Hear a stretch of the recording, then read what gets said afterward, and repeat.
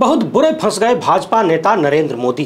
कहा जाता है कि जब समय खराब होता है तो हाथी पर बैठे आदमी को भी कुत्ता काटकर भाग जाता है। आजकल यही कहावत साहिब पर फिट होती हुई नज़र आ रही है। 2024 की चुनावी दलदल में इस कदर फंस गए हैं कि हाथ पाँव चलाकर जितना निकलने की कोशिश कर रहे हैं, उतना ही धंसते हुए नज़र आ रहे हैं। पिछले कई हफ़्ते से साहिब एक के बाद एक झूठ बोलकर अपना बचाव करने की कोशिश कर रहे हैं, मुद्दों की कंगाली से बाहर निकलने की कोशिश कर रहे हैं, मगर हर एक झूठ में खुद तो फंसते ही हैं, साथ ही साथ पूरी की पूरी पार्टी को फंसा रहे हैं, अपने हर एक नेता को फंसा रहे हैं। और अब कांग्रेस पार्टी से राहुल गांधी, प्रियंका गांधी और कांग्रेस अध्यक्ष मल्लिकार्जुन खड़गे, इन तीनों ने भयंकर वाला मोर्चा खोल दिया है। प्रियंका गांधी वो बोलने लगी हैं जो अब तक वो नहीं बोला करती थी, पूरे जीवन नहीं बोला। राहुल गांधी भी सारे हथियारों के साथ उतरते हुए दिख रहे हैं। कांग्रेस अध्यक्ष ने तो सीधा सीधा नरेंद्र मोदी को लंबा चौड़ा खर्रा लिख दिया है, यानी लेटर लिख दिया है। एक दिन में इन तीनों ने किस तरीके से भाजपा और नरेंद्र मोदी को मकड़जाल में फंसा दिया है, बेहद आसान भाषा में आपको बताएँगे। मगर उससे पहले आप सभी से अनुरोध है कि यदि आप पहली बात देख रहे हैं तो फेसबुक पर हमारे पेज को फॉलो लाइक कर लीजिए यूट्यूब पर सब्सक्राइब करके घंटा बजा दीजिएगा। टन से लोकहित इंडिया के आप सभी दर्शकों को ढेर सारी बधाई। हमारी तरफ़ से धन्यवाद। आपका ये चैनल यूट्यूब ने फिर से मोनेटाइज कर दिया है। हज़ारों की संख्या में आप दर्शकों ने हमारा हौसला बढ़ाया, हर तरीके से बढ़ाया। किसी ने कमेंट करके, किसी ने मैसेज करके, किसी ने फ़ोन करके तो किसी ने आर्थिक सहयोग भेजकर। इस भरोसे को बनाए रखने के लिए आप सभी का दिल से शुक्रिया। ये वीडियो काफ़ी ज़बरदस्त होने वाली है। पूरा पूरा देखिएगा।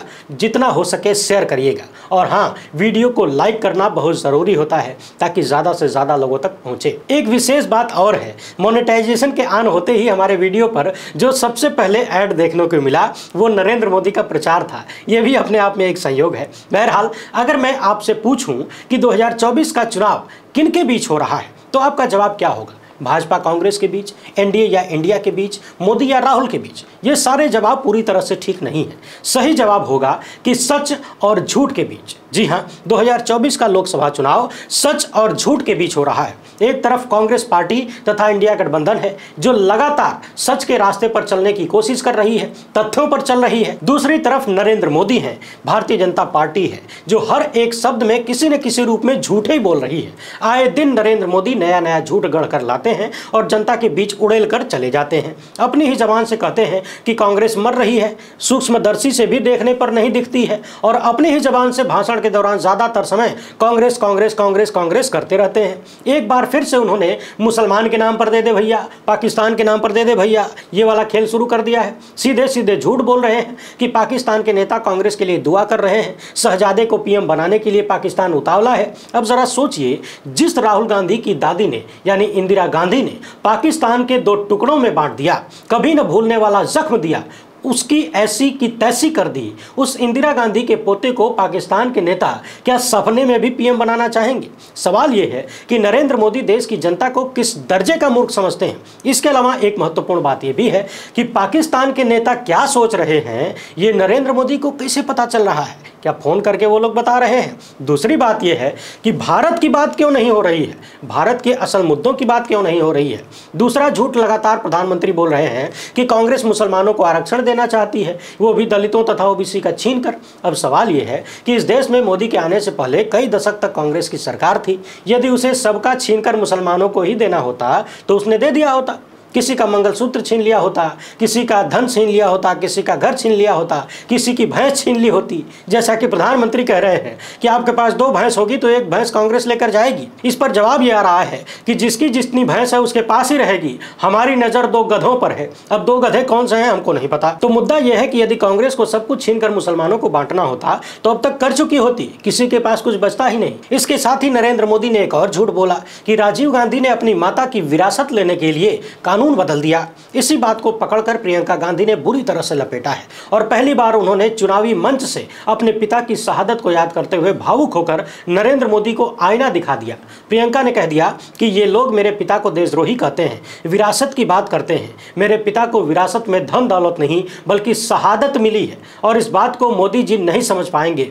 थोड़ा सा सुन लीजिए, फिर आगे बढ़ते हैं। जब मोदी जी मंच पे खड़े होकर मेरे पिता को देशद्रोही बोलते हैं जब मोदी जी कहते हैं कि मेरे पिताजी ने कोई कानून बदल दिया अपनी माँ से विरासत लेने के लिए तो मेरे दिल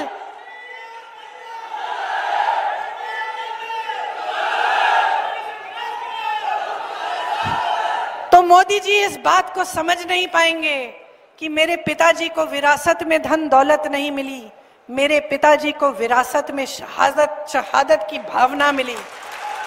इसके साथ ही प्रियंका गांधी ने बेरोजगारी, महँगाई, नोटबंदी जीएसटी के मुद्दे पर बीजेपी को घेरा। ये वो मुद्दे हैं जिनसे लगातार नरेंद्र मोदी और पूरी की पूरी भाजपा दुम दबाकर भागने का प्रयास कर रही है। अग्निवीर से लेकर प्राइवेटाइजेशन के मुद्दे पर भी प्रियंका गांधी ने जमकर घेरा और कांग्रेस पार्टी के अपने वादों को लोगों के बीच रखा। बताया कि कांग्रेस पार्टी की सरकार आती है तो महिलाओं को सालाना एक लाख रुपया दिया जाएगा। नरेंद्र मोदी पिछले दस साल से खाली इवेंटबाजी कर रहे हैं, लेकिन केंद्र सरकार के तीस लाख खाली पदों को भर नहीं पाए। हम आएँगे तो तुरंत भर देंगे। प्रियंका गांधी ने कहा कि पैंतालीस सालों में सबसे ज़्यादा बेरोजगारी इस वक्त देश में है। माँ बाप अपने बच्चों को मेहनत से पढ़ाते हैं, लिखाते हैं, ताकि बच्चा बड़ा होगा, कमाएगा, अच्छी नौकरी करेगा, बुढ़ापे में देखभाल करेगा। लोग मेहनत करके ट्यूशन की फ़ीस भरते हैं, खूब मेहनत करके बेटे को भर्ती की परीक्षा दिलवाते हैं, पेपर लीक हो जाता है। कोई कहीं बैठकर उसके बच्चे की ज़िंदगी बर्बाद कर देता है। गोदी मीडिया को भी प्रियंका गांधी ने जमकर लताड़ा। उन्होंने कहा कि देश की मीडिया को करोड़पतियों ने खरीद लिया है। विपक्ष को दबाया जा रहा है। लेकिन हम लड़ते रहते हैं, क्योंकि हम उनकी सत्ता से डरते नहीं हैं। एक तरफ़ से प्रियंका गांधी का ताबड़तोड़ हमला जारी है, दूसरी तरफ़ से राहुल गांधी ने भी मोर्चा खोल रखा है।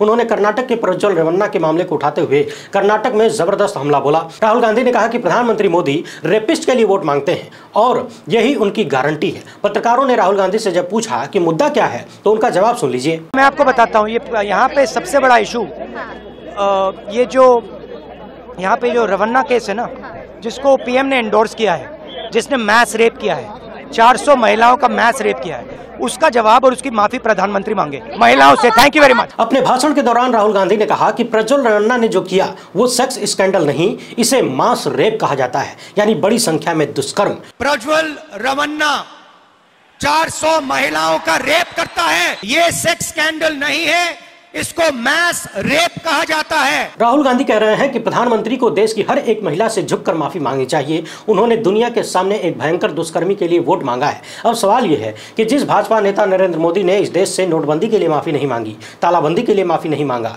पुलवामा के लिए माफ़ी नहीं मांगी, डोकलाम के लिए माफ़ी नहीं मांगी, नोटबंदी के बाद तो पचास दिन मांग रहे थे। कह रहे थे कि आप जिस चौराहे पर बुलाएँगे, जो सजा देंगे, मैं भुगतने के लिए तैयार हूँ। बेरोजगारी के लिए इन्होंने माफ़ी नहीं मांगी, मणिपुर के लिए माफ़ी नहीं मांगी, महिला पलवानों के लिए माफ़ी नहीं मांगी। और माफ़ी मांगना तो बहुत दूर की बात है। उन्होंने हमेशा गलत करने वालों का साथ दिया। अभी ब्रजभूषण शरण सिंह का मामला ही याद कर लीजिए। देश की महिला पहलवानों ने कितने गंभीर यौन शोषण के आरोप लगाए, कितना आंदोलन किया, लेकिन कुछ भी नहीं हुआ। जिन बेटियों को अपने घर के बच्चे कहा करते थे नरेंद्र मोदी, उनका ही साथ नहीं दिया। उल्टे अब उसी ब्रजभूषण के बेटे को टिकट दिया जा रहा है भाजपा से। ऐसी खबरें आ रही हैं। इस पर महिला पहलवान साक्षी मलिक ने लिखा है कि देश की बेटियाँ हार गई, ब्रजभूषण जीत गया। हम सबने अपना करियर दांव पर लगाया। कई दिन धूप बारिश में सड़क पर सोए। आज तक ब्रजभूषण की गिरफ्तारी नहीं की गई। हम कुछ नहीं मांग रहे थे, सिर्फ़ इंसाफ की मांग थी। गिरफ्तारी छोड़ो, आज उसके बेटे को टिकट देके आपने देश की करोड़ों बेटियों का हौसला तोड़ दिया है। टिकट जाएगा तो एक ही परिवार में। क्या देश की सरकार एक आदमी के सामने इतनी कमज़ोर होती है? प्रभु श्री राम के नाम पर सिर्फ़ वोट चाहिए? उनके दिखाए गए मार्गो का क्या?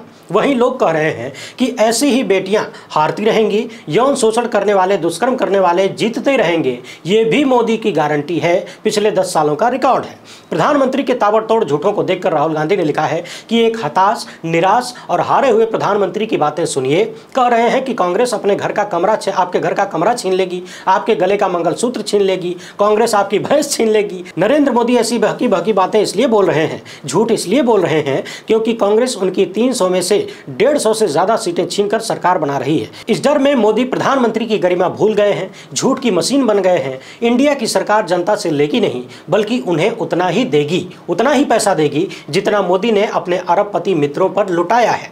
हमारी सरकार अडानियों की नहीं, बल्कि हिंदुस्तानियों की सरकार होगी। राहुल गांधी का कहना है कि नरेंद्र मोदी के आरक्षण हटाओ अभियान का मंत्र है कि न रहेगा बाँस, न बजेगी बांसुरी। मतलब न रहेगी सरकारी नौकरी, न मिलेगा आरक्षण। भाजपा सरकार अंधे निजीकरण से सरकारी नौकरियों को खत्म करके चुपके चुपके दलितों, आदिवासियों और पिछड़ों के आरक्षण को छीन रही है। 2013 में पब्लिक सेक्टर में 14 लाख अस्थायी पद थे, जो 2023 आते आते सिर्फ़ आठ लाख चालीस हज़ार ही बचे हैं। बीएसएनएल सेल, भेल आदि जैसे टॉप पी को बर्बाद करके छह लाख सरकारी नौकरियाँ सिर्फ़ पब्लिक सेक्टर में ही इन्होंने खत्म कर दी। ये वही पद हैं जहाँ आरक्षण का लाभ मिलता है। सरकारी कार्यों को ठेके पर देकर रेलवे जैसे संस्थानों में जो नौकरियाँ बैकडोर से खत्म की जा रही हैं, उसकी तो कोई गिनती ही नहीं है। मोदी मॉडल का निजीकरण देश के संसाधनों की लूट है, जिसके ज़रिए वंचितों का आरक्षण छीना जा रहा है। कांग्रेस की गारंटी है, हम पब्लिक सेक्टर को मज़बूत करेंगे और 30 लाख खाली सरकारी पदों को तुरंत भरेंगे। हर वर्ग के लिए रोज़गार का द्वार खोल देंगे। अपनी इस पोस्ट में राहुल गांधी ने जो बातें लिखी हैं, वो बात मैं पिछले कई साल से आपसे कह रहा हूँ। पिछले सालों में मोदी सत्ता ने गरीब सवर्णों को भी दस प्रतिशत आरक्षण का ऐलान किया था, मगर उस आरक्षण का कितना लाभ गरीब सवर्णों को मिला है, जब आप पता लगाएँगे, गिनती करेंगे तो खोपड़िया चकरा जाएगी। आरक्षण तब मिलता है जब सरकारी भर्ती होगी। जब सरकारी भर्तियाँ ही समाप्ति की तरफ़ जाएँगी तो कागज़ में लिखा हुआ आरक्षण लेकर आप अचार बनाएँगे क्या? लेकिन चूँकि एक कहावत है कि मरता क्या ना करता। वैसी ही हालत हो चली है। नरेंद्र मोदी असल मुद्दों पर जवाब देने की स्थिति में बिल्कुल भी नहीं है, इसलिए दिन रात खुद भी झूठ बोल रहे हैं, अपने लोगों से भी झूठ बोलवा रहे हैं। उन्हीं झूठों को देखते हुए कांग्रेस अध्यक्ष मल्लिकार्जुन खड़गे ने नरेंद्र मोदी को पत्र लिखा है। दरअसल पीएम मोदी ने एनडीए गठबंधन के सभी उम्मीदवारों को एक चिट्ठी लिखकर बताया कि उन्हें मतदाताओं से क्या बात करनी है, यानी वोटर्स को कैसे लुभाना है। इसी पर मल्लिकार्जुन खड़गे ने तगड़े से हवा निकाली है। उन्होंने लिखा है, हे प्रधानमंत्री जी, आपने एनडीए के सभी उम्मीदवारों को मतदाताओं से संवाद क्या करना है, ये बताते हुए जो पत्र लिखा है, उसे मैंने देखा। पत्र के कंटेंट और लहजे से ऐसा लगता है कि आप बहुत ही ज़्यादा हताश और निराश हो गए हैं। यही कारण है कि आप ऐसी भाषा का इस्तेमाल कर रहे हैं, जो प्रधानमंत्री पद की गरिमा के बिल्कुल विपरीत है। पत्र से ऐसा लग रहा है कि आप अपने भाषणों में जो झूठ बोल रहे हैं, उसका उस तरह से प्रभाव पड़ता हुआ आपको नहीं दिख रहा है, जैसा आप चाहते थे। यही कारण है कि अब आप चाहते हैं कि आपके उम्मीदवार भी आपकी झूठी बातों को आगे बढ़ाएँ। एक झूठ को हज़ार बार बोलने से वो सच नहीं बन जाता, प्रधानमंत्री जी। मतदाता इतने समझदार हैं कि कांग्रेस ने घोषणा पत्र में क्या लिखा है और हमने क्या गारंटी दी है, वे खुद पढ़कर समझ सकते हैं।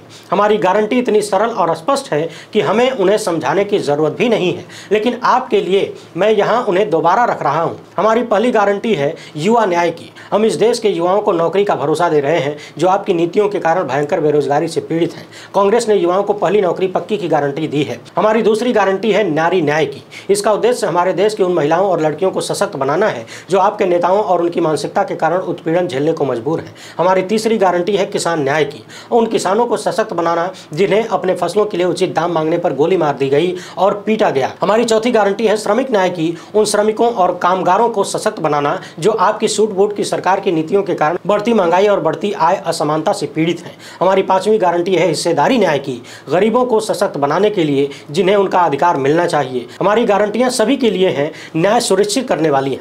हमने आपको और गृह मंत्री को यह कहते हुए सुना कि कांग्रेस तुष्टिकरण की राजनीति कर रही है। पिछले दस वर्षों में हमने जो एकमात्र तुष्टिकरण नीति देखी है, वो है आपके और आपके मंत्रियों द्वारा चीनियों का तुष्टिकरण। आप आज भी चीन को घुसपैठिए कहने से इनकार करते हैं, बल्कि 19 जून 2020 को आपने गलवान में 20 भारतीय सैनिकों के सर्वोच्च बलिदान का अपमान करते हुए कहा था कि न कोई घुसा है, न कोई घुस आया है। आपने चीन को जो क्लीन चिट दी है, उसने भारत के पक्ष को कमज़ोर कर दिया। और चीन को और अधिक आक्रामक बना दिया। यहाँ तक कि अरुणाचल प्रदेश, लद्दाख और उत्तराखंड में एल के पास बार बार चीनी घुसपैठ और सैन्य इंफ्रास्ट्रक्चर के निर्माण के कारण तनाव बढ़ गया है। भारत में चीनी सामानों का आयात भी काफ़ी बढ़ गया है। सिर्फ़ पिछले पाँच वर्षों में चौवन दशमलव सात छः परसेंट की वृद्धि हुई है और 2023-24 में 101 बिलियन डॉलर को पार कर गया है। अपने पत्र में आपने लिखा है कि एस सी और ओबीसी से आरक्षण छीन लिया जाएगा और हमारे वोट बैंक को दे दिया जाएगा। हमारा वोट बैंक हर भारतीय है। गरीब, हाशिए पर रहने वाले लोग, महिलाएँ, महत्वाकांक्षी युवा, श्रमिक वर्ग, दलित और आदिवासी हैं। हर कोई जानता है कि ये आरएसएस, बीजेपी ही है, जिसने उन्नीस से लगातार आरक्षण का विरोध किया है। हर कोई ये भी जानता है कि आरएसएस, बीजेपी आरक्षण को समाप्त करने के लिए संविधान को बदलना चाहती है। आपके नेताओं ने इस बारे में खुलकर बात की है। आपको यह स्पष्ट करना चाहिए कि आप हमारे संविधान के अनुच्छेद 16 के अनुसार एस सी और ओबीसी को उनकी जनसंख्या के आधार पर आरक्षण का विरोध क्यों करते हैं। आपने अपने पत्र में कहा है कि लोगों की मेहनत की कमाई छीन ली जाएगी। यहाँ मैं आपसे अनुरोध करना चाहता हूँ कि आप अपनी पार्टी को गुजरात में गरीब दलित किसानों से ठगे गए और इलेक्टोरल बॉन्ड के रूप में दिए गए दस करोड़ रुपए वापस करने का निर्देश दें। आपकी पार्टी ने चंदा दो धंधा लो ठेका लो घूस दो हफ़्ता वसूली और फर्जी कंपनियों जैसे तरीकों से विभिन्न कंपनियों से अवैध और असंवैधानिक इलेक्टोरल बॉन्ड के माध्यम से 8,250 करोड़ रुपए इकट्ठा किए। इतने पैसे में से आप कम से कम 10 करोड़ रुपया दलित परिवार को तो वापस कर ही सकते चाहते हैं आपने अपने पत्र में यह स्पष्ट रूप से झूठ लिखा है कि कांग्रेस विरासत कर लाना चाहती है। हमारे मैनिफेस्टो में कहीं भी ये बात नहीं लिखी हुई है। हकीकत यह है कि आपके पूर्व वित्त मंत्री और आपकी पार्टी के नेताओं ने बार बार इसका उल्लेख किया है कि वे विरासत कर के पक्ष में हैं। आप अपने नेताओं के इन भाषणों और टिप्पणियों को ऑनलाइन देख सकते हैं। आपके पत्र से पता चला है कि आप चुनाव के पहले दो चरण में हुए कम मतदान से चिंतित हैं। ये दर्शाता है कि लोग आपकी नीतियों या आपके चुनावी भाषणों को लेकर उत्साहित नहीं है। दरअसल कम वोटिंग गर्मी की वजह से नहीं हो रही है। आपकी नीतियों से गरीब झुलस गए हैं। आपने अपने कार्यकर्ताओं से धर्म के नाम पर मतदाताओं को लामबद्ध करने की अपील की है। यदि मतदाता आपको वोट देने के लिए इच्छुक ही नहीं है तो अपने कार्यकर्ताओं को दोष न दें। आपको लगातार बढ़ती असमानता के बारे में बात करने में कोई दिलचस्पी नहीं है। आप बेरोजगारी और अभूतपूर्व महँगाई के बारे में बात करना नहीं चाहते हैं, जो देश के लोगों को सबसे अधिक प्रभावित कर रही है। न ही आपको महिलाओं पर, अपने नेताओं द्वारा लगातार किए जा रहे अत्याचार पर बात करने में दिलचस्पी है। हमारा घोषणा पत्र न्याय की बात करता है। हमारा फोकस इस बात पर है कि समाज के सभी वर्गों का विकास कैसे हो। यदि आप नफरत से भरे भाषण देने के बजाय पिछले दस वर्षों में अपनी सरकार के प्रदर्शन पर वोट मांगते तो प्रधानमंत्री के रूप में बेहतर होता। कांग्रेस पार्टी आपको या आपके द्वारा नियुक्त किए गए किसी भी व्यक्ति को हमारे घोषणा पत्र और आपके द्वारा उठाए गए पॉइंट्स पर बहस करने की चुनौती देना चाहेगी। जैसा कि मैंने अपने पहले पत्र में उल्लेखित किया था, जब चुनाव खत्म हो जाएँगे, तब लोग आपको केवल एक ऐसे प्रधानमंत्री के रूप में याद करेंगे, जो निश्चित दिख रही हार से बचने के लिए झूठ से भरे विभाजनकारी और सांप्रदायिक भाषण दे रहा था। देख लिया आपने, क्या दुनिया के इतिहास में कभी आपने पढ़ा कि किसी लोकतांत्रिक देश का प्रधानमंत्री इस कदर झूठ बोलता हो, जिसके झूठ को लेकर देश और दुनिया परेशान हो गई हो? इन सबको देखकर एक बात तो कहना ही पड़ेगा कि नरेंद्र मोदी झूठ बोलने में निश्चित ही विश्व गुरु ही नहीं, बल्कि ब्रह्मांड गुरु बन चुके हैं। ऐसा कोई नमूना, दूसरा नमूना दुनिया में न भूतो, न भविष्यति। खुद भी झूठ बोल रहे हैं, अपने तमाम लोगों से भी झूठ बोलवा रहे हैं। इस बात की कोई परवाह नहीं है कि इनके पद की गरिमा और उनके व्यक्तिगत सम्मान का कितना बंटाधार हो रहा है। वैसे नरेंद्र मोदी के इन झूठों पर आप क्या सोचते हैं? अपनी राय कमेंट बॉक्स में ज़रूर लिखेगा। फ़िलहाल इतना ही, हमसे जुड़ने के लिए बहुत बहुत धन्यवाद चाहिए